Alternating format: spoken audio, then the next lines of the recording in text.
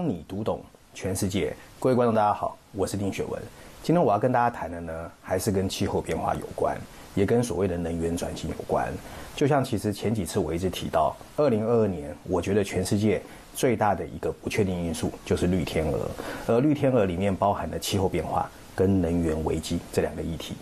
一月十四号啊，我们看到国际能源总署 IEA 宣布。其实全世界的用电持续在攀升，未来三年如果不能做很好的一个所谓的电能的一个改革跟安排啊，很可能全球的缺电情况会越演越烈。同时，WEF 啊世界经济论坛也发布了二零二二年的全球风险报告，里面把气候变化列为二零二二年之后全世界最难应付的一个顽疾。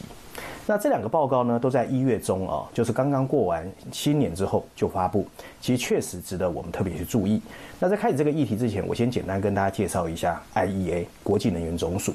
国际能源总署呢，成立于一九七四年，在法国巴黎，主要由二十八个会员国，在当时因为石油危机，其呃为了以后啊，在能源危机在发生的时候能够互相商量，所成立的一个所谓的基金会。那另外 WEF 呢，全世界经济论坛。则在瑞士啊，设立在瑞士呢，它总共是集合了全世界的企业领袖和政府领导人，希望每一年透过这样的发展来对全球经济提出一些呼吁。这一次，这两个组织都把气候变化跟能源危机列在它的风险报告里面，确实值得我们特别的注意。那为什么 IEA 在这个时候会提出这个警告？因为其实以数据上来说，二零二一年全世界的用电量增加了一千五百瓦千时。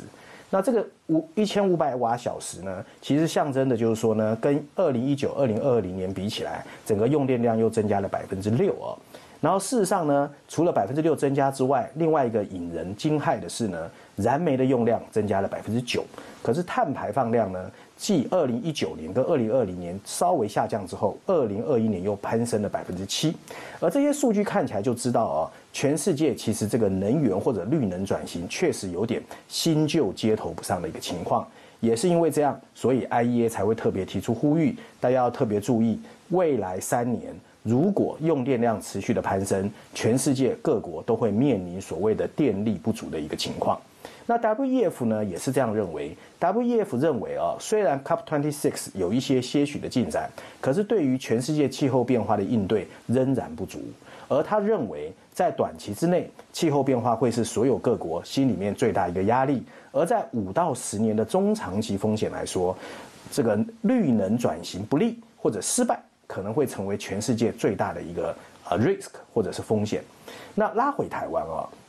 我们看到台湾呢，其实，在呃所谓的公投过去之后呢，其实基本上公投都没有过，表示台湾确定会往非核家园去移转。可在这个过程里面呢，其实也蛮可惜的，因为大家就失去了一个机会，好好坐下来去探讨一下台湾未来的能源政策到底是什么。而事实上，我们看到经济部长王美花哦，曾经已经公开说，因为。啊，这个过去几年，因为很多台商回到台湾来加码投资，所以用电量确实攀升的非常凶，所以确定二零二五年没有办法在这个电的供应上面跟企业的发展完全匹配。这也难怪为什么，包括红海的创办人郭台铭会警告我们，可能在二零二二年会有电力不足的情况。我们也看到台积电呢，其实几乎把台湾所关绿能的凭证都买光了，所以大家其实对于未来的供电或者是用电。能不能稳定，其实非常担心的。那台湾过去引以为傲的半导体，大家都知道吃水吃电是非常凶的。那在这种情况之下，对于企业的稳定或企业的安心感，也会有一些负面的影响。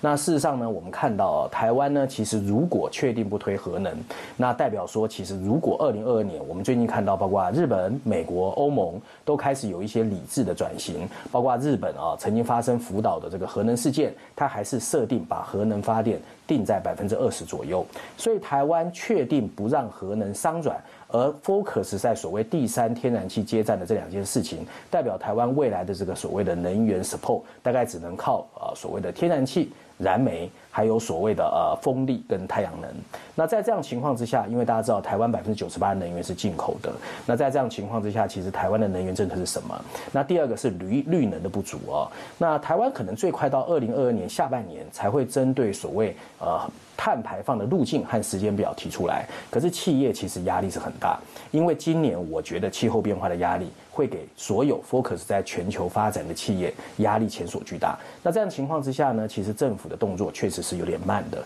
那加上呢，台湾其实大家知道，在风力的选址上面呢，其实越来越少。那在太阳能的这个成本越来越高的情况之下，其实台湾的这个能源供应确实有可能要好好的去面对。总而言之，我还是再次提醒，二零二二年能源上面的压力会越来越大。气候变化的不得不往 ESG 走的压力也会越来越大，在这些过程里面，怎么样在疫情挥之不去的情况下做好盘点跟准备？我想是台湾的政府、企业跟人民都要认真严肃对待的。以上就今天我想跟大家分享有关能源危机的议题，希望大家喜欢。我们下次见。